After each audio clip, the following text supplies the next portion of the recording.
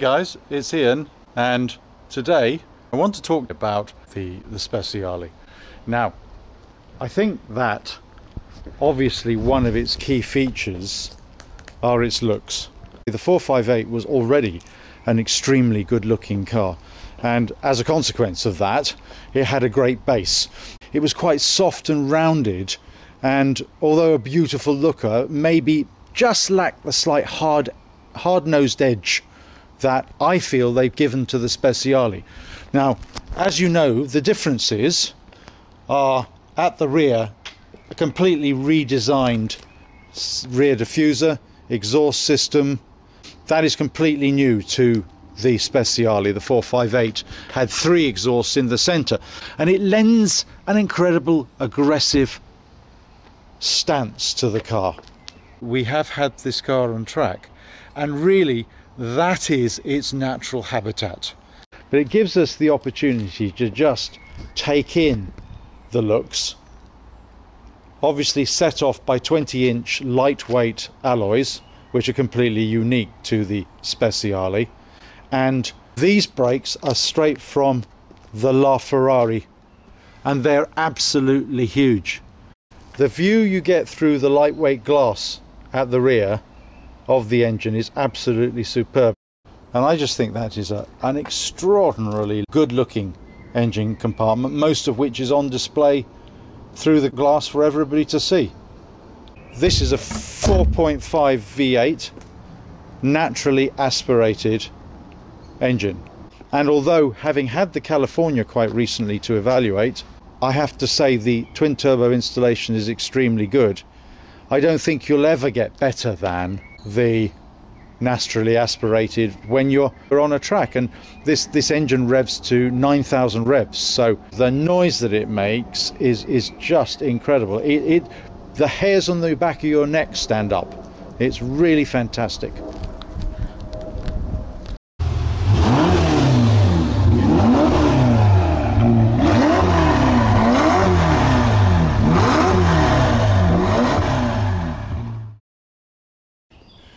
I've always rated the uh, California T with HS pack, which is the handling speciale pack.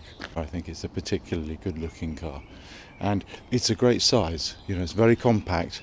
I had it up in London yesterday and it was um, very easy to thread through the lanes. Enjoyed driving it in town. Lovely exhaust note. The exhaust sounds absolutely fantastic. And, you know, generally for everyday use, it's a fantastic companion. Now you're probably very familiar with the California shape because it's been a, around a while. Initially in naturally aspirated guise, and just recently they've brought in the the twin turbo, or say just recently, a few years ago now, and this is the first uprated version of the twin turbos, which is essentially the same engine producing 565 brake horsepower, but it also has the addition of a, a, handling pack to stiffen the suspension slightly, um, makes it a little bit more rigid, but basically we like that. As you can see, the, um, the car looks extremely purposeful. It has the diamond finished alloys uh, with the red calipers and the car's in black. Now the really, really exciting thing about this car for me is it's a convertible. Do you know, yesterday, in amongst all the, the thunderstorms, we managed to have the roof down all the way up to London. And oh my goodness, that is really, really pleasurable experience. I love, love travelling with the roof down.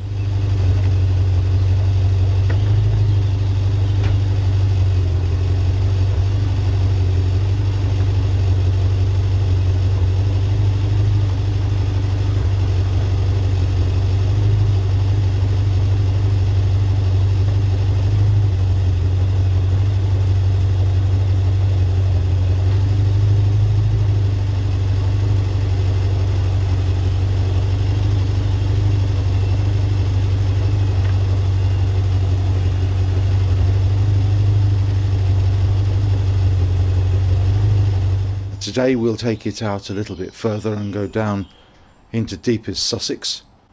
So that'll give it a, a bigger test in terms of its handling capabilities. Obviously, London is not ideal in terms of getting up to any type of speed.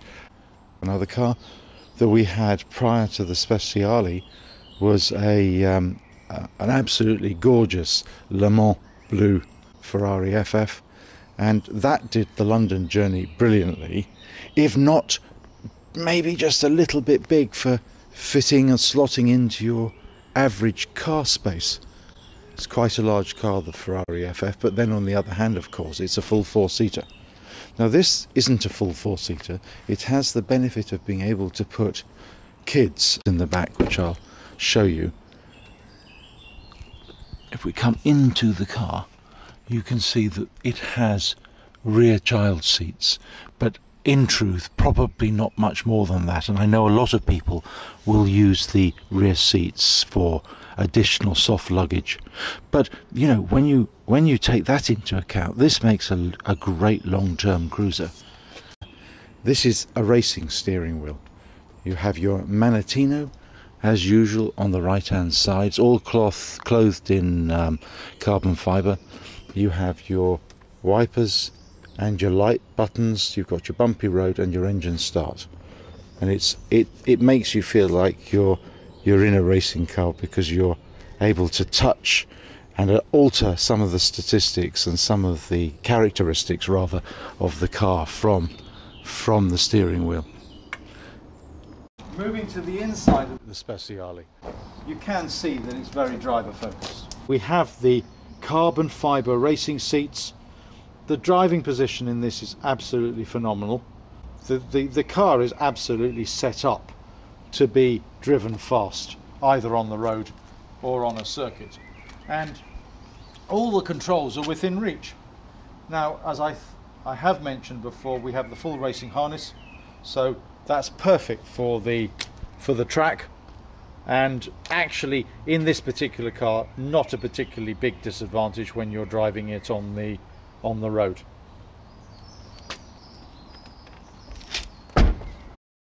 the California, unadorned with wings, which um, I do like. I mean, again, you might think that's a little hypocritical given the GT4 has a huge wing, but the GT4 is essentially a track car. I mean, this is a, a road car first and foremost, but now with the handling Speciale pack, it's going to be extremely good on the track, I imagine.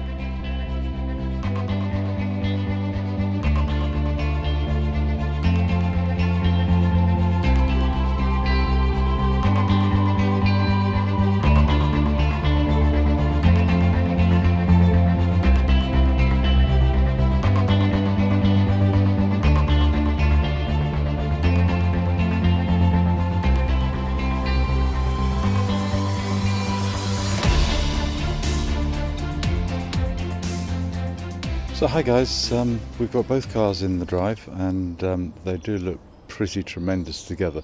But the first thing that you can say is you do notice the different roles immediately that they're designed for. You can see how wide the uh, Speciale is and that's necessary I guess to provide stability at high speeds and through the corners on, on a track.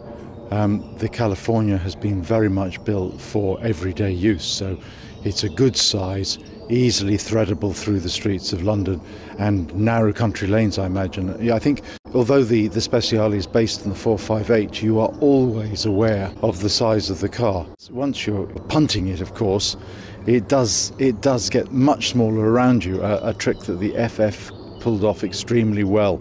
Um, big car though that was, when you were really going for it, it, it seemed to just um, it seemed to just get smaller and it was easy to, to thread and the Speciale is the same.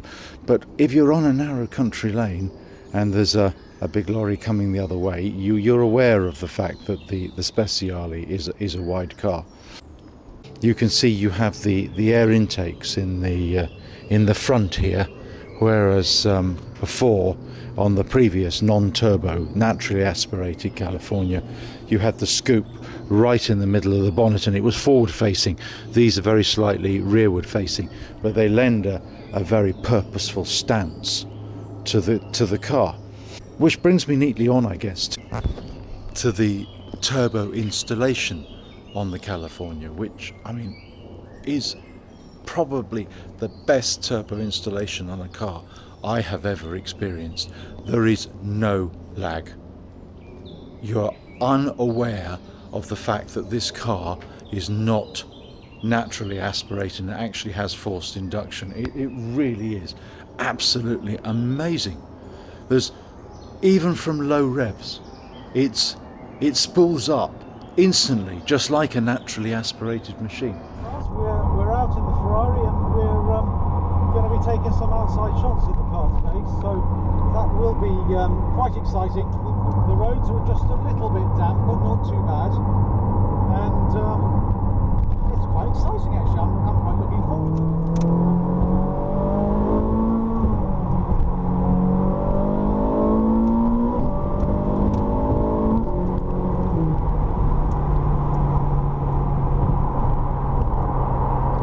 Well, hi guys. We've come down to Midhurst to give the car a run through the the country lanes. So it is quite a serious sports car. This, mean, I think that it can be sold as one of their more relaxed machines. But as I think I said to you this morning, this has the HS pack, which is the handling speciale pack.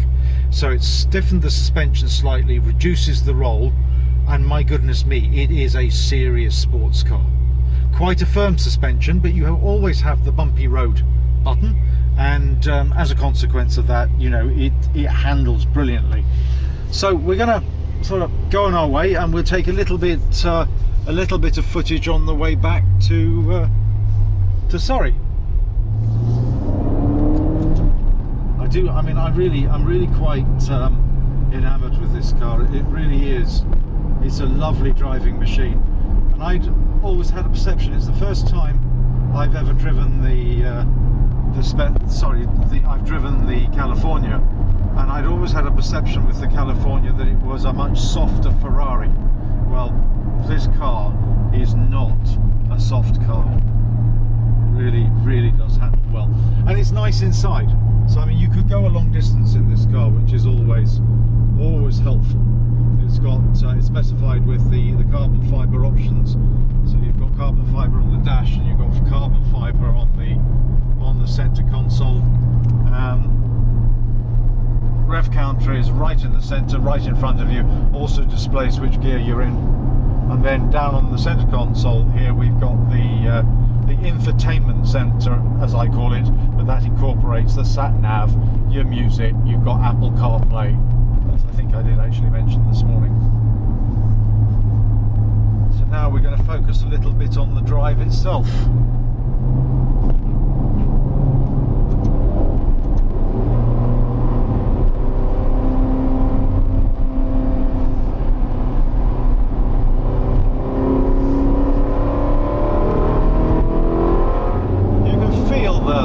the torque. The thing about the turbo engine that absolutely astonishes me is the amount of torque you've got in it. It's just incredible you know you can feel you can probably also hopefully get a sense of the fact there's no pitching on the on the cornering here it's just really on rails it's quite a it's quite a, a tight section there's been a little bit of a landslide so I had to slow down slightly but you know it's got a lovely lovely feel to it you really feel that the roads are very slightly damp but if they were completely dry you'd really be able to shoot around here if the speed limit allowed for it